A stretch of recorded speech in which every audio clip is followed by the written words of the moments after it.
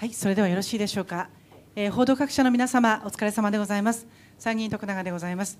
えー2004年年が明けて初めて、えー代表の記者会見の担当をさせていただきます。本年もどうぞよろしくお願い申し上げます。はいえー今日はたくさん皆さんから質問があると思いますので、早速海田代表からご報告をお願い申し上げます。えーいよいよ国会もスタートしまして、えー明日はあー衆議院本会議場で代表質問があるということで、私が先陣を切ることになります。まあ、代表質問の中身につきましては、どういう項目を取り上げるかということを皆様方のお手元にお配りをして、えありますが、ま、その骨格に従いまして、ま、正々堂々安倍内閣に対峙をしたいと、こう思っています。まあ、具体的な中身、まあ、どこまでお話しできるかですが、質問があれば、まあ、できるだけお話をしたいと思っています。えーそれからですね、あとは、まあ、あの先ほど、えー役員会開かれましたけれども、この役員会では、えー先だっての常任幹事会で、えー確認しました、えー2月の8日、9日の党大会に出す議案書、中でも、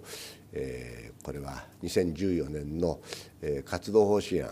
まあ、若干軸修正を行いまして、まあ、それを改めてえー確認をしたところであります。えー冒頭の挨拶は、あー挨拶冒頭の報告は以上でございます。えー代表からご報告をいただきました。それでは早速いつものように質問に入りたいと思います。どうぞ。えー、フジテレビの葉山と申します。はい、えーすみません、あの代表、あのこの前ですけど、NHK の茂木会長がですね、えーと記者会見において、えー従軍ヤフの問題について、まあ他の国でもあったという発言されました。で、まあ今朝まあぶら下がりでまあそれを否定されたりはしてるんですが、あのこのもんこの発言自体に対して代表はどのように受け止めているのか。でまたあのもし代表としてこれは問題であれば、この問題の中身自体に問題があるのか、もしくはあの記者会見という場で個人的な意見を言ったのが問題だと思われるのか、すみません、具体的にお願いできればと思います。あの昨日、某テレビ局のあの BS であのかなり細かくあのその時のやり取りの中身放映してましたので私もそれを丹念に見ました、まあ、そして思ったことはあの改めてやっぱり NHK 会長としての見識が問われる発言そしてま記者会見の内容であったというふうに思います。でまあ、あの一つ一つをついて、えーどうだ、こうだということではありませんけれども、やっぱりああいう発言を、これは新会長の就任の会見でありますから、そこは当然、個人的な意見というのはないわけでありますから、やっぱり NHK の新しい会長としてふさわしい発言であったかというと、そうではないというふうに私はあ思いました。その意味では、葉山さんのお答えで言えば、まあ、今の回答に尽きていると思います。よろしいでしょうか？あ、はい。はいあのすみません、関連してなんですけど、あの今後、国会とかでまあ予算委員会やら、まあ、その後総務委員会なども出てくると思いますが、追及していくお考えというのはあるんでしょうか？あのーまあ、私の明日の代表質問でも、えーまあ、総理の受け止めをお聞きするつもりでありますし、それから今、葉山さんから指摘のありました予算委員会なのか、あるいは総務委員会なのか、えーこれ、NHK の予算もこれから議論されるところでありますから、そういうところにお呼びをして、そして真意を正していきたいと思っています。はい、よろしいでしょうか。はい。それでは他にございますか？はい、どうぞ。産経新聞の南條と申します、はいあのや今の慰安婦の発言についてなんですけれども、橋本徹大阪市長が、あの茂木会長あ諸井会長の発言について、えーまあ、民主党の小畑幹事長も批判されているという質問に対してですね、民主党は勉強が足りないんじゃないかと、もっと勉強して答えた方がいいというようなことをぶら下がりで言ってるんですけれども、慰安婦問題について、その点で指摘されたことをどう代表として受け止められですからあの先ほども申しましたけれどもあの個別の話がどうこうとかいう話ではありませんで会長の就任の会見でまあこれは会長の立場を離れてということで、えー、ルールお話をしたわけでありますけれどもそういう会長の就任の会見ですからねそこでああいう発言を自分の意見を言うということはこれはやっぱり、えー、会長としての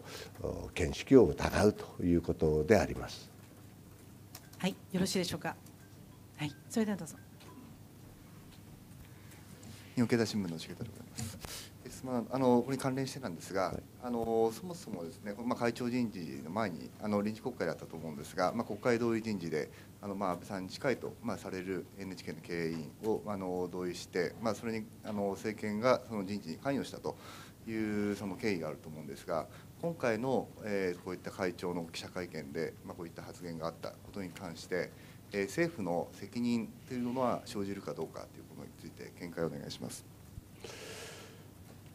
まあ、あのこれはあの NHK の経営委員というのはあの全部で12人ですか、えー、そして、まあ、その中には私どもが賛成をした委員もいますから。それから新たに選ばれた5人の中でもしっかりとした見識をお持ちの方もいらっしゃいますから、まあ、ただそういう人が選んだ新会長として最初の記者会見に臨んでえーまあ、先ほどもお話をしましたけれどもああいう発言をしたということはこれはやっぱりその新会長の見識を疑うということでありまして、まあ、あの政府の責任云々というのは今直ちにここでどうこうということではありませんのでまずやっぱり総理がどういう受け止めをしているのかということは聞いておきたいと思ってます。はい。関連でもございませんか？大丈夫ですか？読売新聞の壁です関連でその先ほど代表からああいう自分の意見を言うことは会長としての見識を疑うという言葉ありましたけれどもこれはつまりその他の国でもやっていたというその発言の内容自体の是非よりも記者会見の場でご自分の意見を披露したということ自体その中身が別としてその記者会見の場で公の立場なのに個人の意見を表明されたということが見識問われることではないかという認識でよろしいんでしょうか。まあ、そう考えていただいて結構です。やっぱりあのまさに放送法、放送法ということをおっしゃって、えー、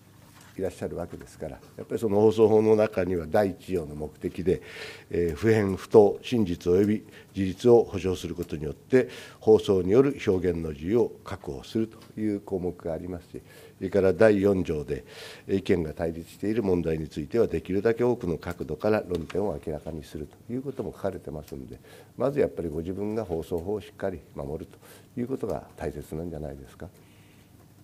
はい、まだありますか？発言の中身自体については改めてどうお考えかというお聞かせいただけますか？まあ、あのそれはあのまずそういう個人的な考え方をああいう公式の会見の場でしかも NHK 会長の立場はさておきという形でお話をしたということ自体が問題だというふうに思っておりますので、えまあそれでその言葉に尽きると思うそのことに尽きると思います。よろしいですね。はい。他にそれではございますでしょうか。関連でもいいですね。はい、はい、じゃあ他のご質問ございましたらどうぞ。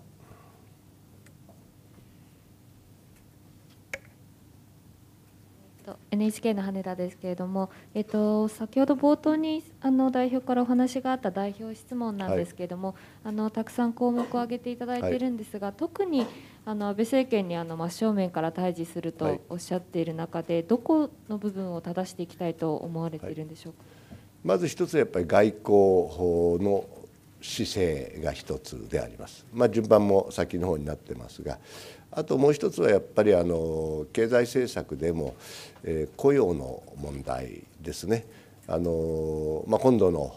このアベノミクスが、えー、それこそ好循環になるかどうかということはまずその春闘で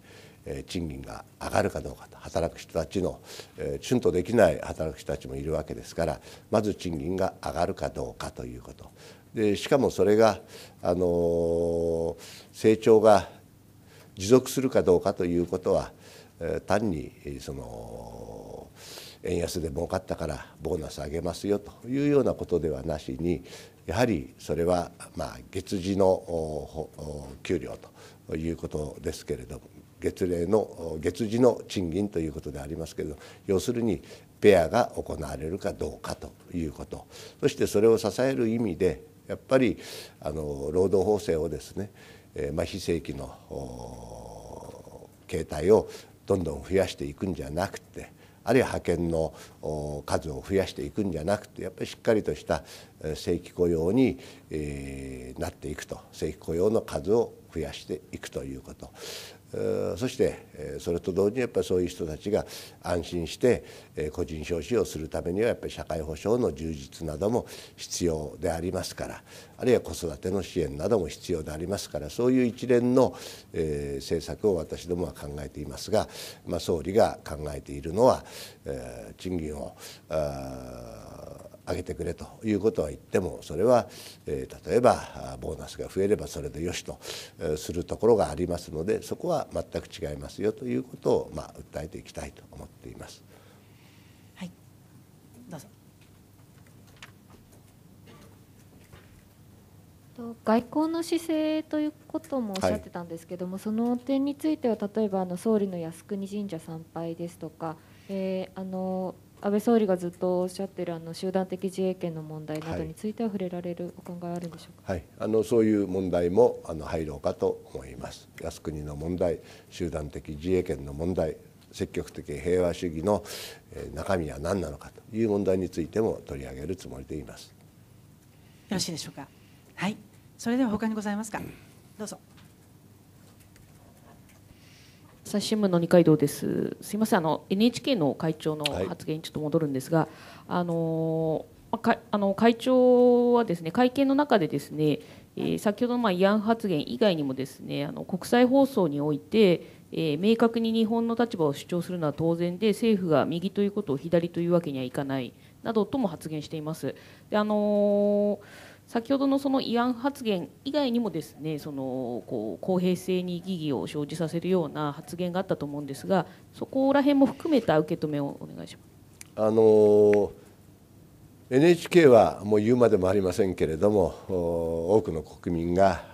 受信料を払ってそして成り立っているあの公共放送ですからねあの国営放送とは違いますから。そこはやっぱりしっかりとその違いというものを考えていただかなければいけないと。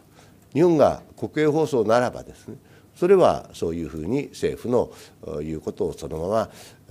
流せばいい話でありますけれどもそういう形態になってないということですからそれから放送法にもわざわざさっきあの一部紹介をしたような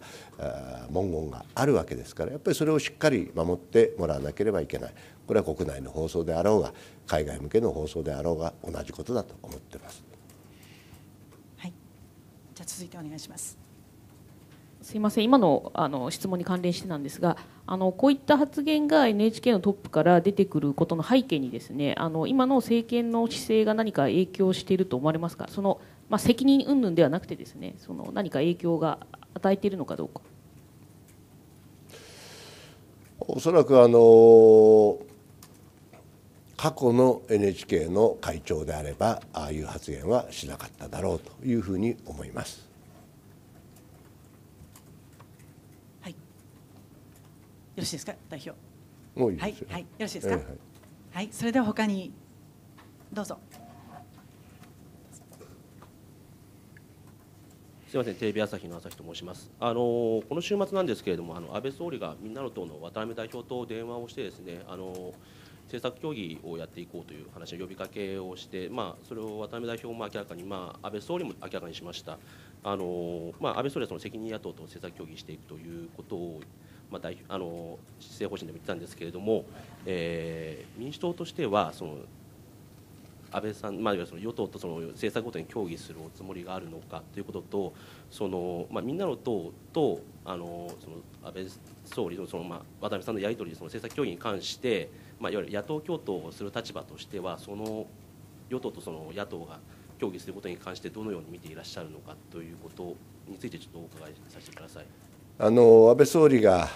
施政方針演説の中で、まあ、責任野党という言葉を使いました。しかし、この責任野党というその中身は、私たちがこれまで使ってきたものとは大きく違うということでありまして、まあ、その安倍総理の考え方に同意をすると、あるいは安倍総理の安倍内閣の政策に、えー、賛成だという政党が責任与党ということは、これは違うんじゃないかというふうに私たちは考えています。本来の意味での責任政党、責任野党、これはやっぱり国民生活にしっかり、責任を持つという意味において、やはり対案をしっかりした対案を出していくということもこれ責任野党の大事な仕事だと思っていますからそれが安倍内閣の出してくる法律と180度違うものであってもやっぱりそれは私たちは出していくと。いうことですからこれがまあ安倍総理の言う責任野党と私たちの考える責任野党との違いであります。それからまああのみんなの党がどうしたこうしたということはこれはまあそれぞれの政党の考えることですから、えー、とやかく申し上げません。えー、それから、まあ、あの同じ野党だけれどもその意味では、えー、みんなの党と、協力関係というのはどうなのかということですけれども、まあ、これはあのこれから国会も始まってそしていろんな問題あります、はっきり申し上げまして、まあ、その問題の一つ一つについて協力できるときは協力をしていくということであります。はい、よろしいでしょうか。はい、それではどうぞ。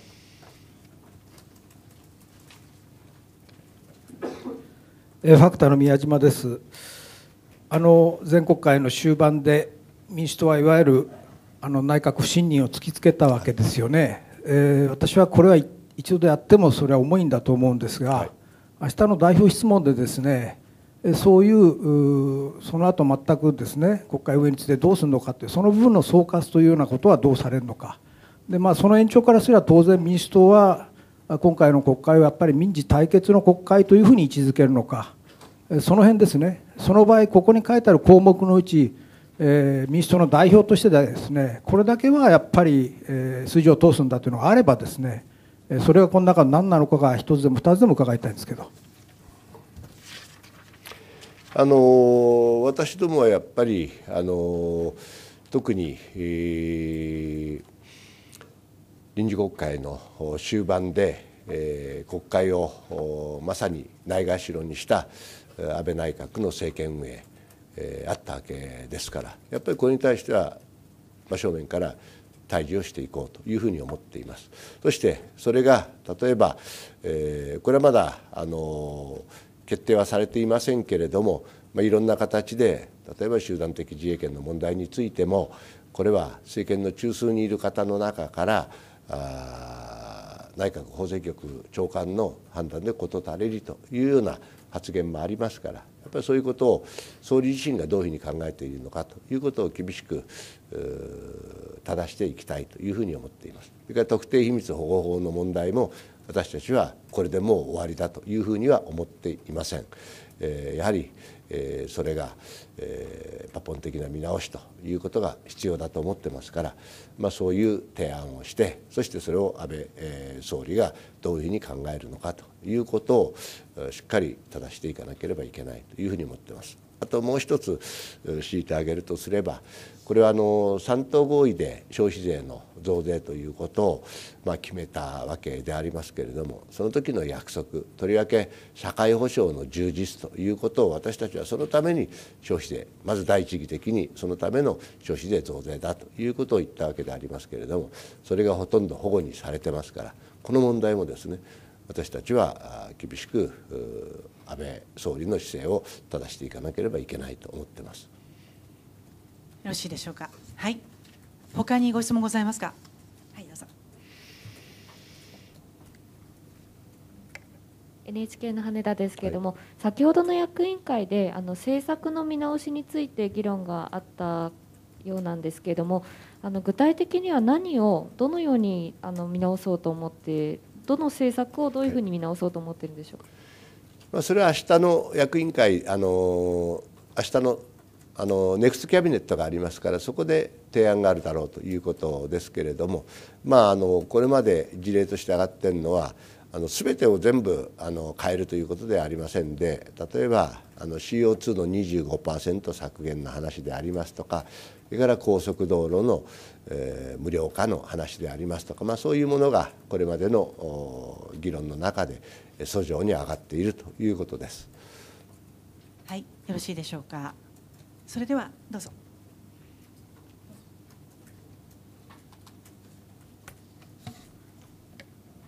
月刊ファクターの和田と申します。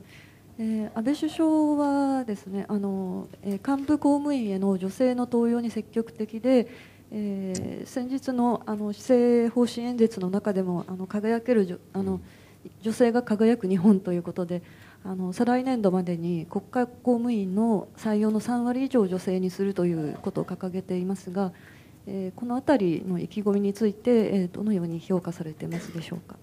あのまあ、公務員の3割を女性にするということは、これはあぜひやってもらいたいと思います。ただ、安倍さんはその片方で、例えばあの介護保険から要支援の1と2を切り離しをするということを言ってますね。そうするとやっぱりそのしわ寄せというのは、これはその介護保険から切り離されて地方に行くわけですけど地方はいろんな意味であの条件が整ってないところもありますからそうすると例えばその女性がですねそのしわ寄せを食ってしまうことになるんじゃないだろうかとか。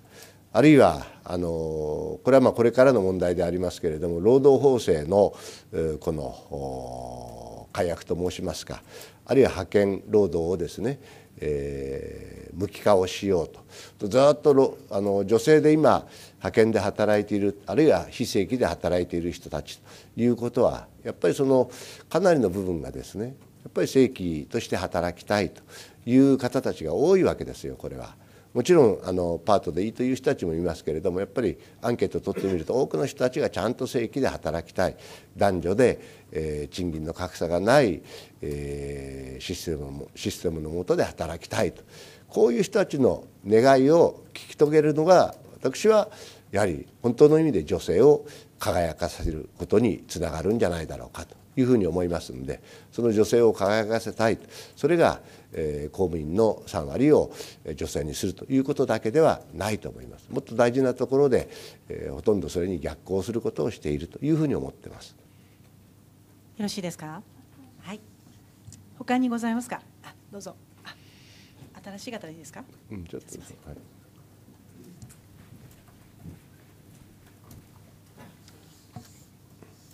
北海道新聞の平畑です。あの明日のまあ、質問の項目の中にですね TPP あると思うんですけれども、はい、これについて、まあ、もう少しちょっと具体的にどのような観点から望むのかということと民主党内にも賛否はいまだあると思うんですけれども代表としてどういう立場で臨まれるのかこの2点についてお願いします。あのまず一つはあの今回総理の施政方針演説の中で、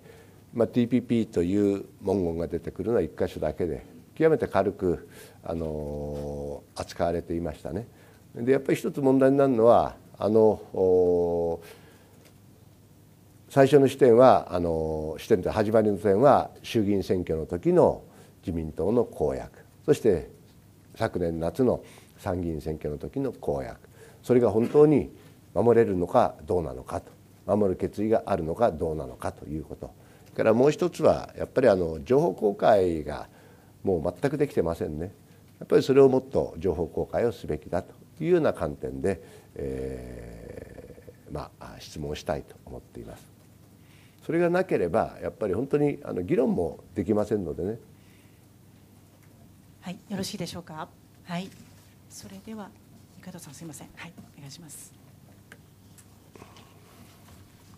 朝日新聞の二階堂です。あの都知事選についてちょっと2点伺いたいんですがあの各社のですね世論調査であの細川氏がまあ苦戦しています。で舛添氏の方がリードしていますがこの現状をまあ民主党もあの細川氏を支援勝手連としてですねまあ支援するということなのでどのように受け止められているかということとあとですねあのまた脱原発についてなんですけれども朝日新聞があの昨年11月に行った世論調査ではですね小泉元首相の脱原発発言を支持するという人はまあ6割いました。であの脱原発を求める世論っていうのは一定あると思うんですけれどもそれがなかなかこう投票行動に結びつかない現状っていうのをどのように分析されてますか？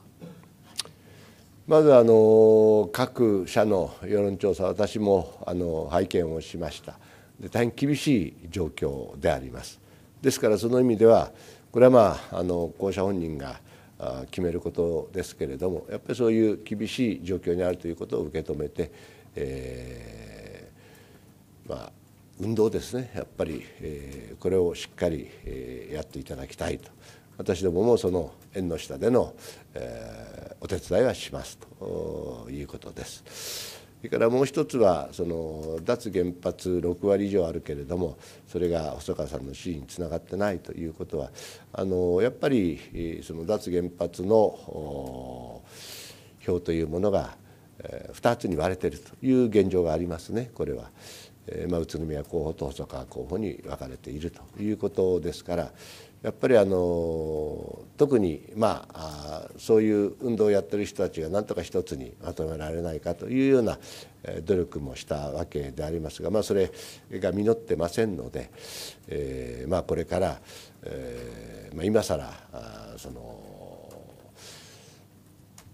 一本化というのは難しいことだと思いますけれどもやっぱりまあそこは、え、細川さんの、え、ところに集まるようにえーまあ、ご本人も努力をしてもらうということだろうと思います。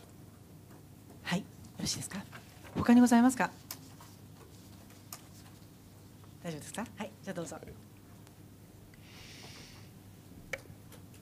はい、NHK の羽田ですけども先ほどのあの政策の見直しの点なんですが、はい、明日の NC で提案されるということが今日の役員会で了承されたということなのかということと代表としては政策の見直しの必要性についてどのようにお考えでしょうか？あのー、まあ、具体的に最終的にこれとこれを見直すということは、まあ、あのもう少し時間がかかるかと思います。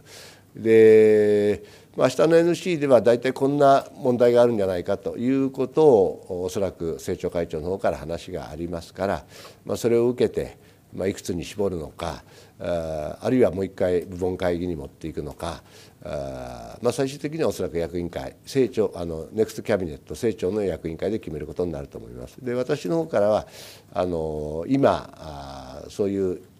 あの政策の見直しということでいうと6つの総合調査会を設けてそこで議論していることもありますからもうすでにそこは議論が始まってますからそこともよく連携をとってそして、えそのいくつにするのかということをどういう内容にするのかということを、えー、議論して決めてくださいということは発言をしました、政調会長に言ってあります。はい、よろしいですか？はい。はい、他にどうもますか。もう大丈夫ですね。よろしいですね。はい。それではこれで結ばせていただきたいと思います。はい、ありがとうございました。